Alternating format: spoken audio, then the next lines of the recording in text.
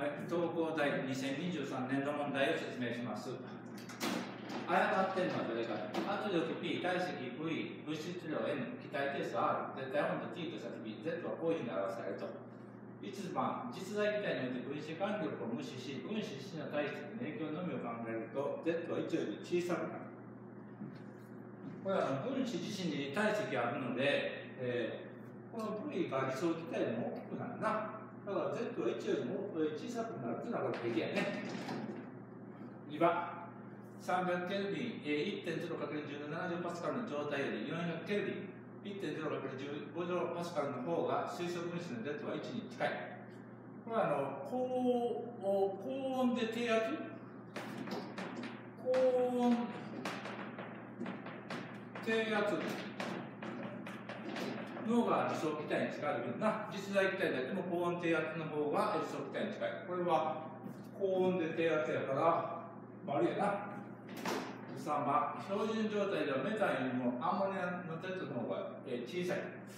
アンモニアはまあ水素結合もするし、分子間力が大きくなるんですよね。分子間力が大きくなるということは、理想気体から外れるということです。だから Z の方が、えー、小さい。だから丸やな。えー、メタンの方が小さい。丸。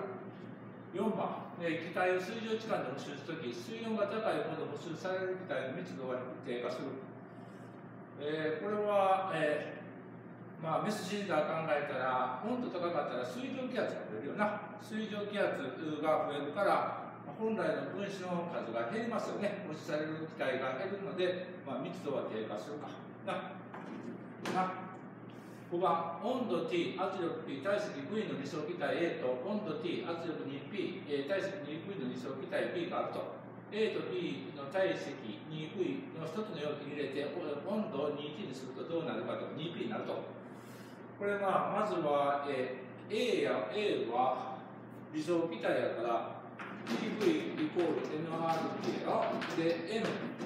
N は、え RT 分の、PV やな、これ。で、えー、これが A な。これが A で、A の無理や。で、温度 T と 2P。えー、これ 2P やから 2P で体積が2分の5だろ。温度が、えー、T か。温度が、えー、T。2V で T やな。RT。これが、えー、B, B の1な。これ、えー、RT やからこれが N な。で、えー、P、P は 2P なのか ?P は 2P やな。2P。で、えー、あ、2P、これ X なんだな。これ X にして、で、体積は、えー、どうなのか、えー、2V ですな。で、これ RT。で、これで計算します。で、これは、えー、PV、PV やな、2PV やから、X は、あここは入れて、2T にすると、あ、2T やな、ここ 2T。2T にするから、ここ2と2消えて、X は、ここにやっぱ 2T なのかな。温度も 2t、えー、ここは 2t で 2v で 2p。だから 2p なんだ。これはまず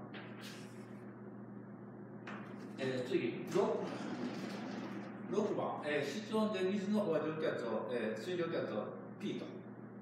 で室温でアルコールと水蒸気、水蒸気を一つの容器入れて全圧を 4P としたとき、水蒸気圧は 2, 2分の P であったと。